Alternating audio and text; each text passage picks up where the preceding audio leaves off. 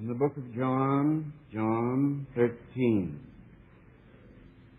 Now, before the feast of the Passover, when Jesus knew that his hour was come, that he should depart out of this world unto the Father, having loved his own which were in the world, he loved them unto the end. and supper being ended, the devil, having now put into the heart of Judas Iscariot, Simon's son, to betray him. Jesus, knowing that the Father had given all things into his hand, and that he was come from God and went to God, riseth from supper, and laid aside his garment, and took a towel, and girded himself. Now, this is all too full for any one treatment, but I want to pick out this phrase. It's here. Judas Iscariot, Simon's son. Judas Iscariot, Simon's son. Now, you were brought up in the church and you know that the most dishonored name in history is probably the name of Judas Iscariot. There were many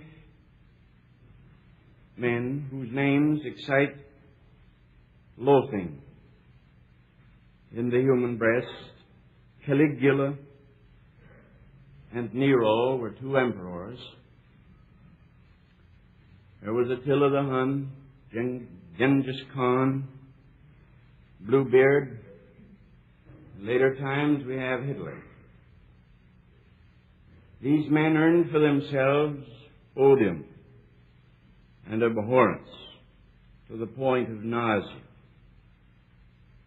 And even though we're all sinners by nature, yet the basest sinner in the world shrinks in horror from the name Judas. Judas is Iscariot, Simon's son. Now, there's not too much known about it, and so I can't be too dogmatic here, but I suppose that Simon is in some way responsible for Judas. The Lord was not willing to say Judas Iscariot did it. He said Judas Iscariot, Simon's son, did it. And he links this dishonored name, this name of Odium. He links it with Simon, who beget Judas. And I say, I suppose that in some way Simon is responsible for Judas, because all down through history the two names were linked. And even in hell, Judas is known as Simon's son. I will not be wise above what is written, and I don't know how far Simon is accountable for his boy Judas, who sunk the human race lower than it had ever been before and almost created another fall upon another fall And I don't know how far we're accountable for that which flows from us and which proceeds from our lives. I know that for our personal deeds we are responsible. That the Bible is very clear about that, and that's common Christian teaching. But there was a sense in which Simon was not responsible for Judas quite in that way. And yet it was Judas, it was Simon who gave life to Judas. And so the Lord is not willing that Judas should stand alone, but says, Judas, Simon's son.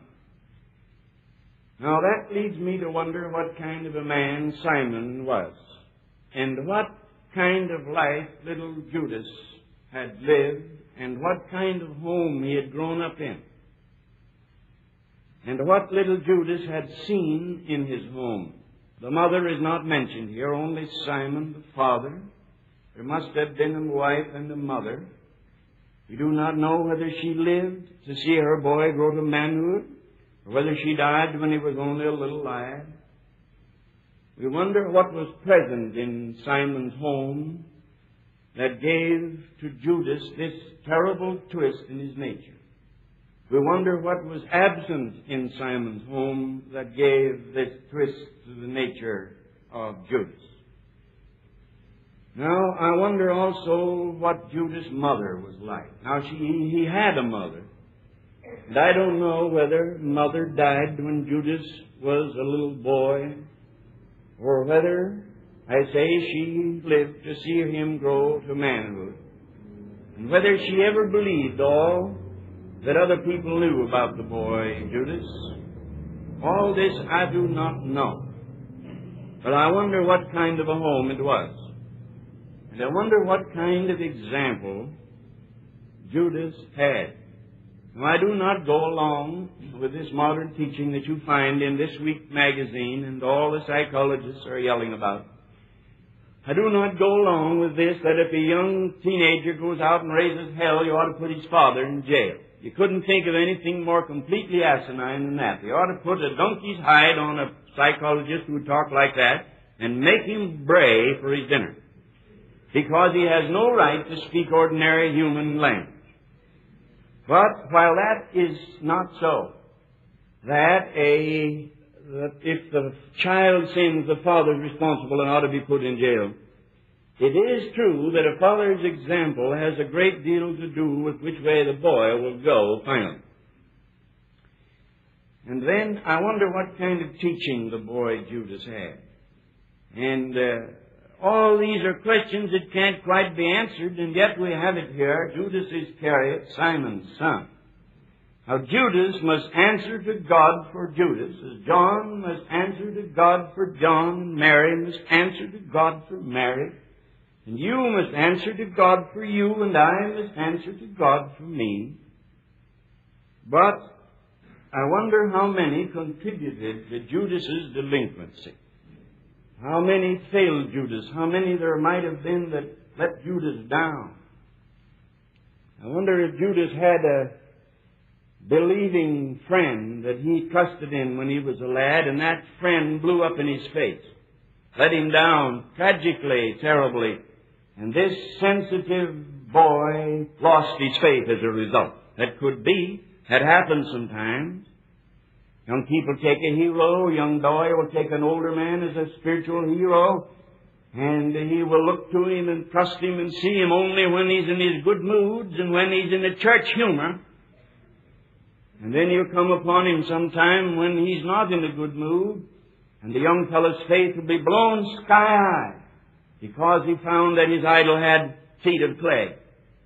I wonder if something like that happened to Judas. I don't know. I'm only guessing and I'm not making any positive statements.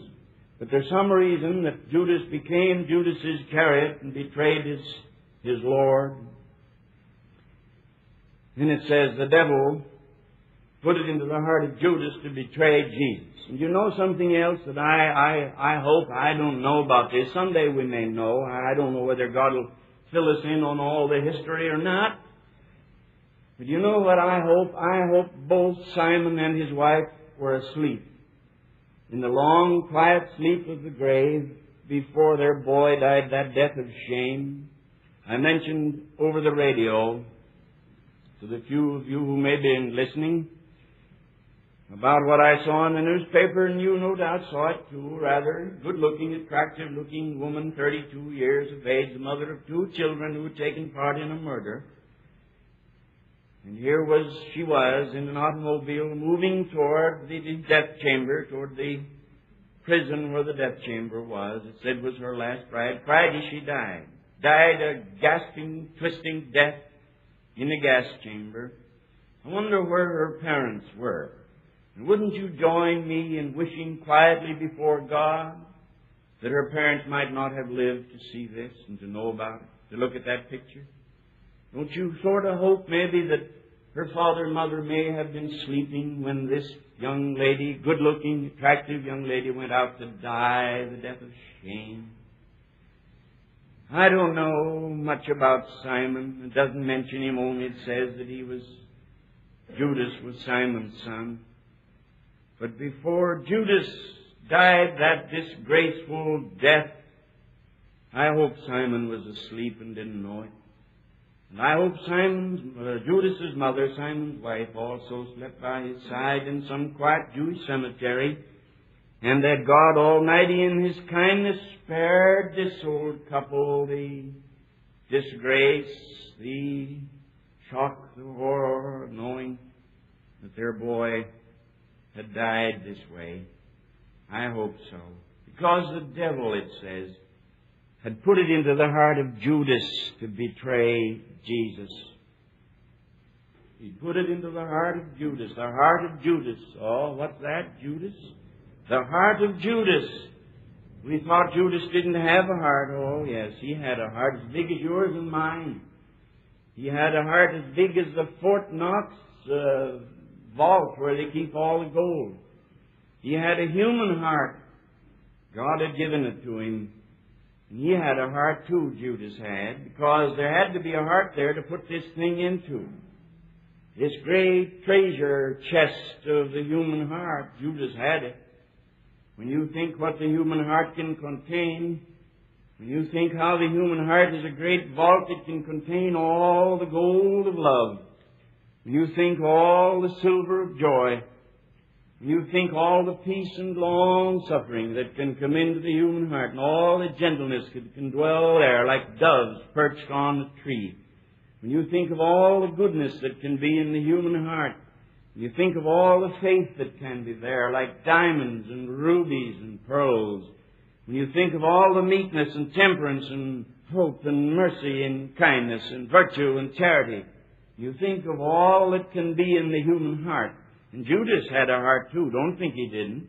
Judas has a heart as big as yours and mine, as big as Peter's and Paul's. We say his heart's little, but we're using language carelessly. Potentially it was as big as any man's. Judas had a big heart too. Think of the sweet memories that say were in the heart of Paul when he died.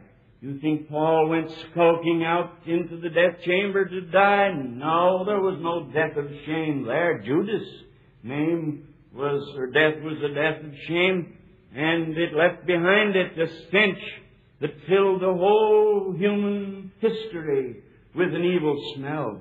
But when Paul went out to die, he went out to die with his head up and his eyes on the glory, knowing that he was soon going to be with the Lord, whom he loved and had not seen in the flesh.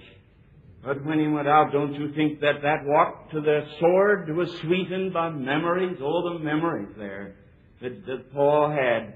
The sweet, long memories from the time he was stricken blind on Damascus Road through all the long, tortuous, twisted way, and yet a way that for him was as straight as a highway as he walked on his way to God, blessing men and women by the side of the road all the way along. Don't you think that those sweet memories came flooding around the man Paul? And he never saw the sword and never felt it at all when his head rolled away. Because his heart was so big that his poor little head, when it fell off, he didn't miss it. Because he had that great big human heart of his all filled with all sweet memories. The human heart, I say, is a treasure chest. And when you think that it contain, could contain, and in some cases does contain God Himself, Christ in you, the hope of glory, let's never underestimate the human heart. And Judas had a human heart. The devil put it into the heart of Judas. And Judas did have a heart after all. And when you think of that human heart, what it can contain, how much of jealousy, how the flatworms of pride and the filthy buzzards of bad thoughts and the dirty, evil birds of hatred and resentment and malice can fill the heart and the toads and serpents of strife and low desires and lust and covetousness, all these can fill the human heart. And when you think of all the foul smelling beasts of dishonesty and lying and anger, and all the roosting place for unclean birds, and then when you think the devil himself can get in there, Ah, what a treasure is the human heart, and what a treasure chest, and how it should be guarded. Keep thy heart with all diligence, said the Holy Ghost, for out of it are the issues of life. If you gave as much care to your heart as you do to your body, you'd be a wiser and a better man. You're careful to have insurance on your body. You go every so often and get a checkup if you feel something a bit abnormal going on inside of you. We're always careful of our body, but God said not take care of thy body, though He supposed we would have sense enough to do that too. But He said, keep thy heart with all diligence, because it's not the body that can contain love and peace and long suffering and gentleness and goodness and faith and meekness and temperance and mercy and kindness and virtue and charity and God Himself. It is the soul that contains these things, the heart of the man. And it's not the body that can be filled with jealousy, nor pride, nor filthy thought, nor resentment, or malice, or dishonesty, or lying, or anger. That's not the body. And yet we take such good care of the body, and we ought to, really. We ought to look after our bodies. They're the, the temple. It's the old Francis of Assisi always referred to it as the donkey upon which he rode his human body. And he took good care of it because he said, I got to ride it around. You walk down the street, you're riding that horse, that, that donkey God gave you to ride around on. It's all right, take care of it, but it's not that body that is the treasure house of all these things, or the snake pit wherein is contained all the horrors of sin. It's the heart.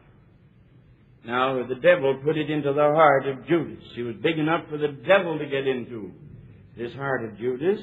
How did the devil get into the heart of Judas? Well, Judas was a Jew, and Judas was brought up with the Scriptures. He heard the Old Testament Scriptures read every, every Sabbath day in the synagogue. And he knew the law and was forced to memorize them when he was a boy, or memorize the different items of the law when he was a boy. And he knew the prophets, and no doubt could have quoted from Isaiah, and he did sing many times from David, as you have sung sweet songs here tonight. And uh, Judas was, uh, he was not a pagan. He was not a boy delinquent on the street. He came from a Jewish home. Jesus picked him out as one of his, one of his disciples and picked him from a Jewish home that, that no doubt had some connection with the temple and the synagogue. So he was a Jew. And he'd heard the Psalms of David. And uh, he may have been moved by the Psalms of David when he heard them sung in the synagogue or the temple or chanted. There is a service, or rather a program on Sunday afternoons, and if I can get to hear it, I always turn it on, lie down, rest, and listen to it. It's called the Jewish Hour. Starts out with that rousing march, Hebrew march, and then there's always something in it about the Jew. There's usually a chant or two from a famous cantor from the old Hebrew worship temple service. I like to hear it. And Judas must have heard that kind of thing or something very like it lots of times. In addition to all that, Judas had been three years with Jesus. And he'd seen the wonderful miracles of Jesus, and yet the devil put it into his heart to betray Jesus. He had heard the heavenly word, such words as never had been spoken before. Never had been spoken since except in repetition. And more than that, he had been with God, for Jesus was God. He'd felt the warmth of his breath. He'd heard the words from his lips so strong that they had created the heaven and the earth centuries before. He had been close to him and Jesus had breathed on him and the breath that had given life to Adam in the garden, when God breathed the breath of life into him and he became a living soul, Judas had many times felt that breath on his cheek as he talked close with Jesus sometime under a tree or in a synagogue or beside the highway. What had Judas done? What had he done to open his heart to the devil? What had Judas done? What had got him in that state? What had weakened his resistance to temptation? Was it when he was in his teens? That something happened and broke in there and he never got back on his feet again? What was his weakness? Love of money, you suppose? He did love money. We learned that. But you think that was enough? He loved money. Judas Simon's son did. But was it love of money? I don't know for sure. Was it irreverence? He certainly stood in the presence of God and didn't know it. And the ability to be in God's presence and be dead to it, that's basic irreverence. That was Saul's great sin. That was the great sin of the apostate Saul. David was so reverent that he would not lay his hand on a man, even though that man were his military enemy. He would not lay his hand on that man if that man ever had God's hand laid on him. Oh, said the Reverend David, I couldn't touch him. He's God's anointed. I wouldn't touch him. I'd let him kill me first. There was reverence. David, with all his faults, had one thing basic reverence, a sense of trembling fear in the presence of the overarching mystery we call God. But Judas may not have had that, probably didn't. Where he could stand in the presence of Jesus and argue with him. He was a hypocrite, Judas was, because he claimed that he didn't want them to use that spikenard. He said it was such a very valuable thing that it might have been sold and the proceeds given to the poor, and the Holy Ghost wrote underneath it in small print. This he said, not that he cared for the poor, but being a thief, he took what was put in the bag. He was one of the first church traders who became a thief. And this was Judas. So there must have been a basic irreverence there and basic hypocrisy, but how did he get there? He wasn't always that way. He was as innocent as any 15 year old was, or any 14 or 13 or 10 year old. He was as innocent as any strapping young chap just turning 20. How did he get this way? Diddled money and love of money? Self love, maybe. Maybe he loved himself until the Holy Ghost deserted his heart. Self love, maybe did. Could be. There was self love. You're listening to me and you wonder why I'm talking about a man long dead. Because in one sense Judas isn't dead at all. He committed suicide and hanged himself and the rope broke and he fell and lit on a jagged rock and tore his abdomen open and all his bowels gushed out and you say that should have killed him. He should have been dead and he did die, but he isn't quite dead.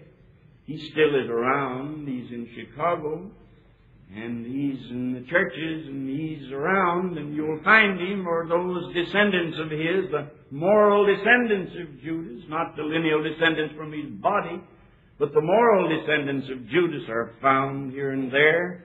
People that were brought up in Christian homes and uh, have Bibles lying at home, red back testaments and blue back testaments with the Sunday school superintendent's name in them, pastor's name below it, and a scripture text appended.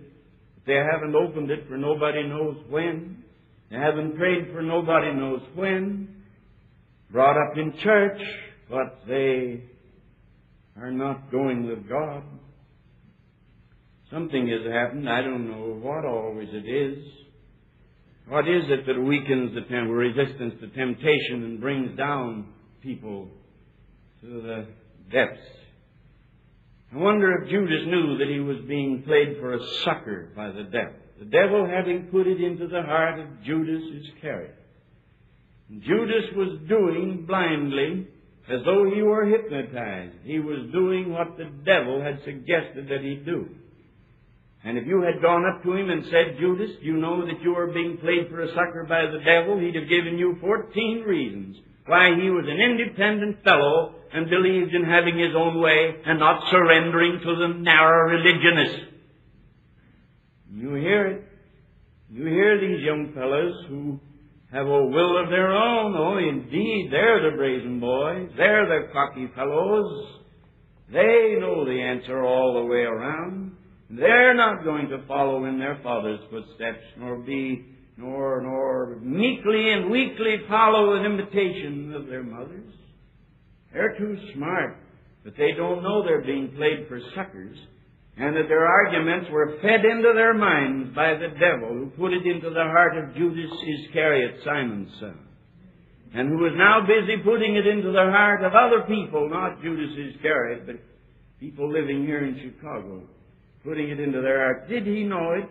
You see, the devil is a smooth destroyer, and right under the shadow of the cross, he brainwashes people. And there are people that are being brainwashed, and you want me to know what's busy brainwashing people? I'll tell you what's brainwashing them. They're being brainwashed through various media. That media is the daily newspaper, the uh, fiction that is being printed now, political speeches, television, radio, magazines like Life and Time, and the other common popular magazines of the day. Now, don't go out and say Tozer says that's all bad. I don't say anything of the sort. If it was all bad, nobody'd like it. Nobody'd give it a, a show. If it was all bad, it would have to be sold under the counter, along with the pornography down here in, in the dark room somewhere. But it's because it's only partly bad. Because there's so much good in it, it's brainwashing so many people. You people listening to me, your whole philosophy of life, I think, is partly taken. I'd say 50% taken from the Bible, and the rest you've gathered from, from uh, these other sources. And so a young fellow or a young girl is tempted to deceive. She says or he says, well, I'll deceive the old folks. After all, they're too strict with me and I think I should not be held down. All right, honey. But you're being played for a sucker by a cynical murderer whose name is Apollyon and who lives to kill and destroy and rob. And you think you're being independent when all that's happened to you, you're breaking away from God and listening to the devil. It's not independence, it's a, it is simply a shift of, of bosses. When you were little and you spanked and made to do what you were to do, you did it and said nothing. Old Eve and Uncle Adam standing up in you and believe you and me, you're going to have your way. All right, honey. Have your way, but you're being brainwashed by the one who put it into the heart of Judas Iscariot. You say, oh, but Judas Iscariot, he was the son of perdition. He wasn't always the son of perdition. He was the son of Simon once. And in a way still is the son of Simon. And don't forget the son of Simon became the son of perdition. And don't forget the son of the synagogue became the son of hell. And don't forget the son of the law who was circumcised the eighth day and made to memorize the Psalms of David and the Decalogue and chant the Hebrew hymns. Don't forget he became the son of perdition and went to his own place of suicide. That first time you're tempted to deceive your parents. That first time. You think it's not much and you giggle about it to your schoolmates. I wonder if that's where Judas started. And he and a couple of other boys went to learn how to read the Hebrew characters at the feet of the rabbi. And uh, one day they decided not to go, go out fishing. The next day the rabbi asked in a stern tone, Where were you yesterday? And they said, We were ill. And they giggled on their way home and said, Didn't we take him? Maybe that was how Judas got his start. I don't know.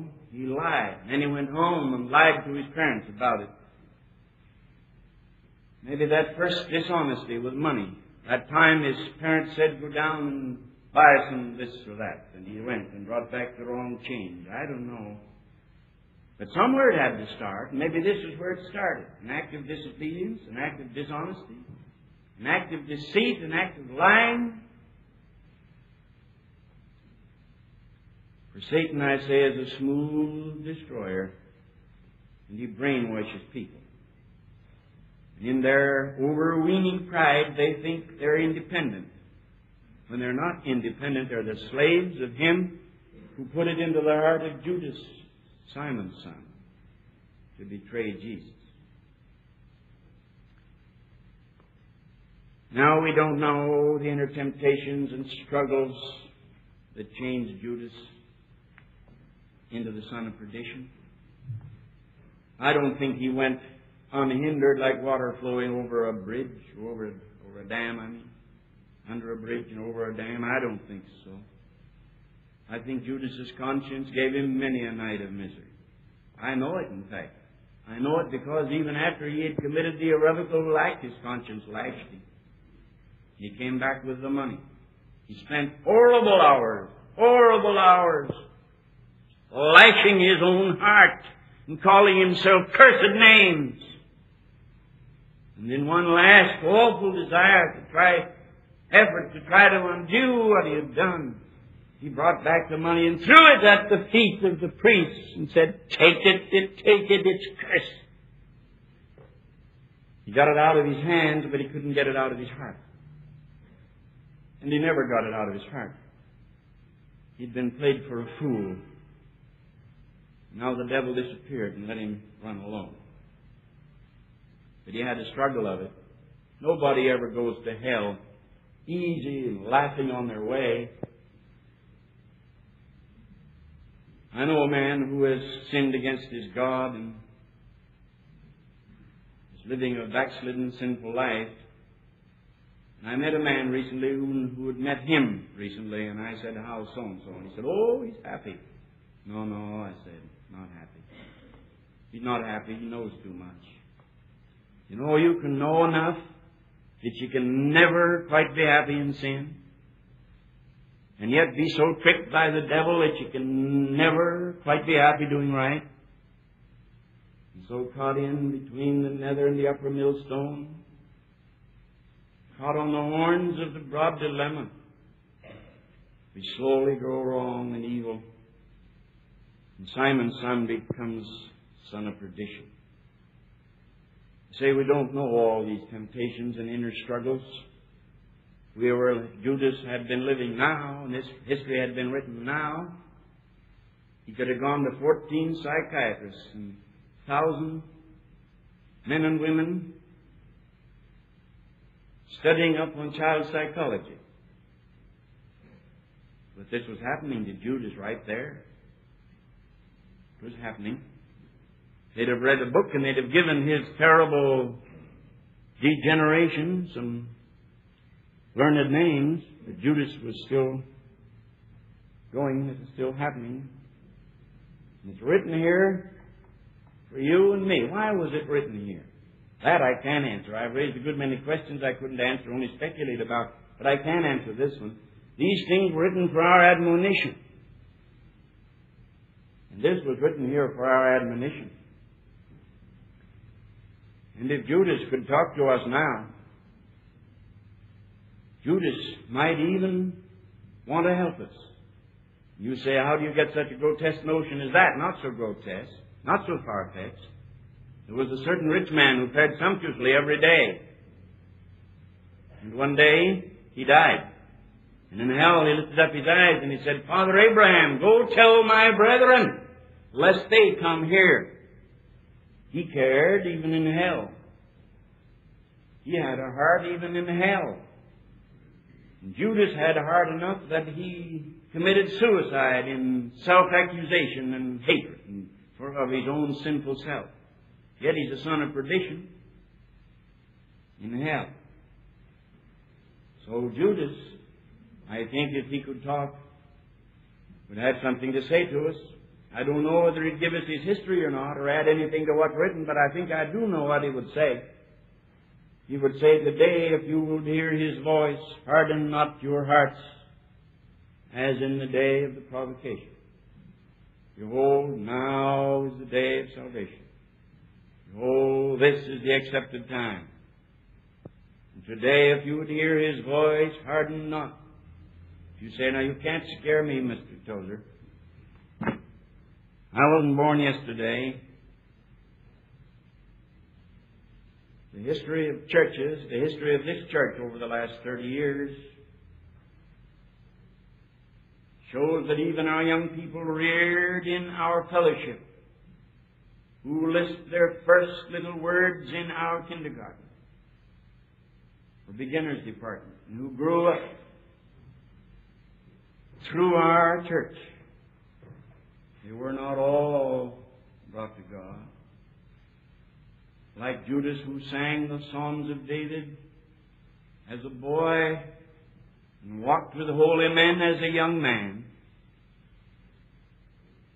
opened his heart one sad moment to the devil, wide open, and the devil put it in his heart.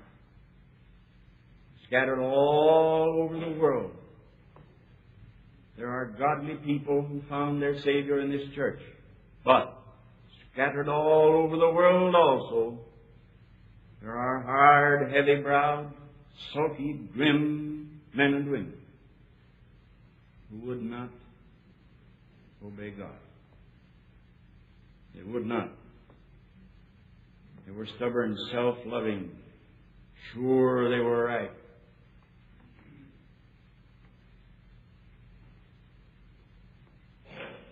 And they're just waiting now for Satan to call in them in. Just wait, just waiting for the day when Satan will put the fence down and call them all into his hell. I'm horrified when I think that the sound of my voice has fallen on the ears of men now in hell. The sound of my voice in prayer. The sound of your singing is echoing now through the ears of some were in hell. Christianity isn't a soft, smooth,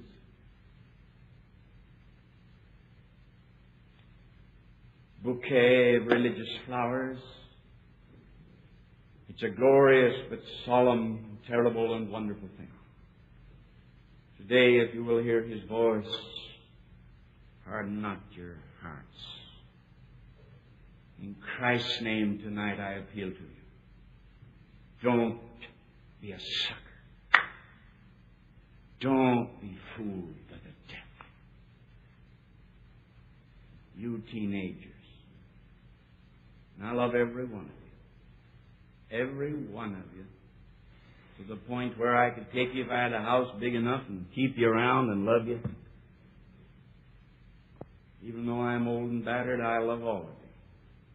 But I love you so much that I don't want to see hell get its hand on you. I don't want to see you play into the hand of Satan and open the door enough that he can stick his dirty, foul head in and begin to breathe his hypnotizing suggestions into your young heart. Judas, Simon. My God. No wonder Jesus said, better that he'd never been born. Better never been born. Better if he should have been born dead. And the neighbor said, Did you hear about Simon's wife? She had a baby stillborn. They never even named him, but carried him in his cold lifelessness to his baby grave. Put him away. Better, said Jesus, he'd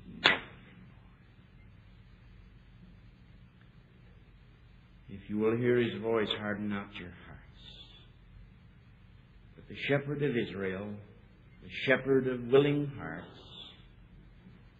shepherd of the book of John, from which I preach, that shepherd calls you to himself calls you to come and believe on Him and trust Him and follow Him and love Him and be His and put away deception and pride and stubbornness and nastiness and disobedience and put it all away and follow Him.